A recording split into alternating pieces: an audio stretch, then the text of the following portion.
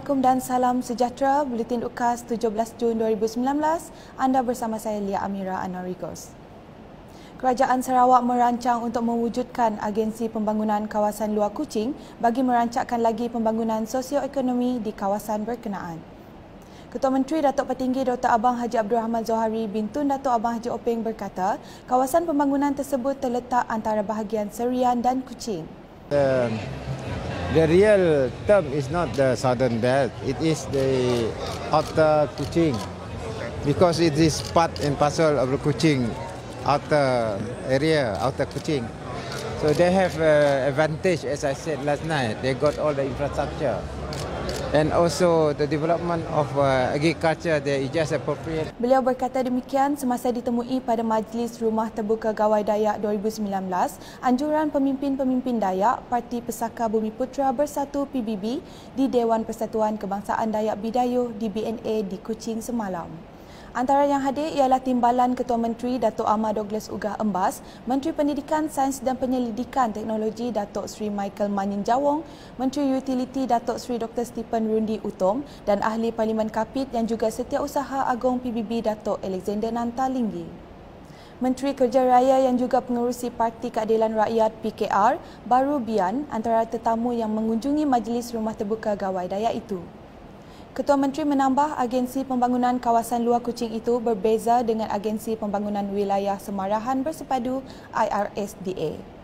Ujarnya lagi, pembangunan di bawah IRSDA melibatkan kawasan semarahan sehingga sebuyau manakala bagi agensi pembangunan luar Kuching pula melibatkan kawasan di antara Serian dan Kuching sahaja.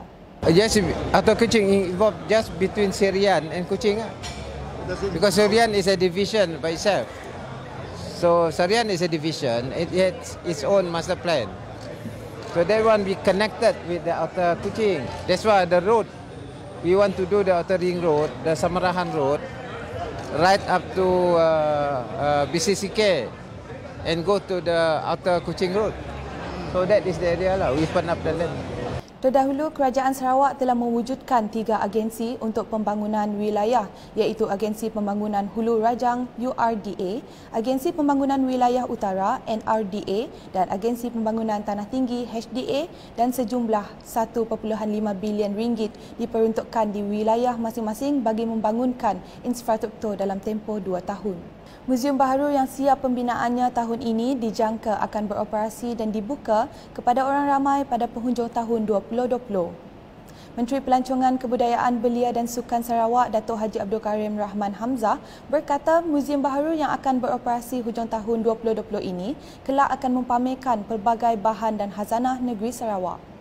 Beliau berkata demikian ketika ditemui pada majlis rumah terbuka Aidilfitri beliau bertempat di Penview Convention Centre PCC Demak Kuching pagi semalam.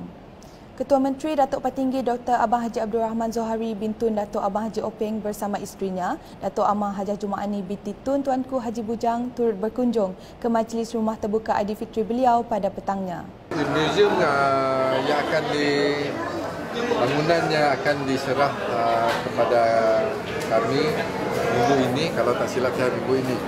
Dan uh, walaupunnya akan diserahkan kepada kami. Ia tidak akan dapat dibuka kepada orang awam dahulu. Sehingga lebih kurang satu tahun daripada masa sekarang.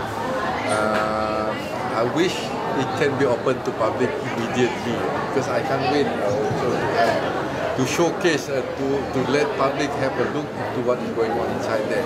Museum akan menetapkan uh, bayaran untuk masuk.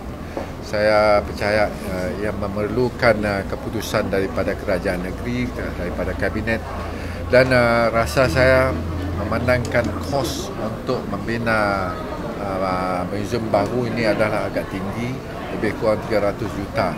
Walau bagaimanapun, Kerajaan Sarawak akan mengambil langkah terbaik bagi menetapkan kos bayaran nanti. Cadangnya, kadar cas pelancong asing akan mahal berbanding dengan pelanggan tempatan.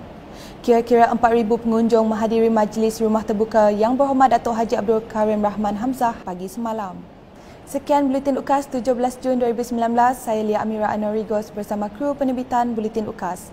Bertemu lagi untuk berita 6.30 petang. Untuk berita lanjut, layari ukas.sarawak.gov.my. Salam UKAS.